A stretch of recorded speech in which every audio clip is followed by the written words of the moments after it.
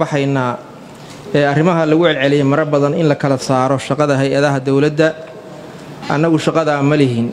Annaga shaqaa naloo diray amar madaxweyneha naloo ku diray shaqadii uun baan qabanna iyada uun baan leenahay in kula xisaabtamo. Laakiin kaali saaritaanka hay'adaha dowladdaysa u shaqeeyaan taas dowladda iyo golayaasheeday u taallaa midda kale guddoomiyaha waxaan ka codsanaynaa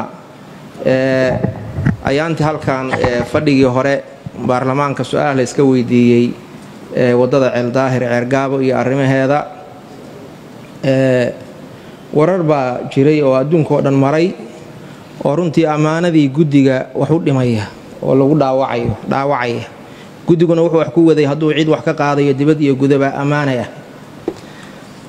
Arrintaas waxaan rabnaa haddii guddigu eeda yeeshana haddee guddoomiyihii baarlamaanka go'aanka isaga iska leh.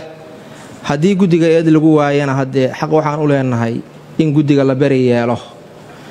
Tan xisaabta waad ka warhaysaan dhammaan xisaabta guddigu uu qabtaa. Wasaaradda maaliyaddii ma dhaaba. Annaga xataa in loo yimaado looma baahna. Labadaa boqol oo kun oo iyaduna akoonka toos ugu dhacday oo iyadana la raadin karo uun baan wasaaradda maaliyadda soo marin. Iyo tan shacabka oo iyaduna qabaa'ilkii bixiye ay qoran yihiin bes marka xisaabtu saasay u fududahay halkaasi ahayd in laga beego. Taas marka iyadana dee go'aankeeda guddoomiyahan ka sugaynaa. Jasaahu llahu khayran. Intaasaan uga baxaya wabilahi towfiiq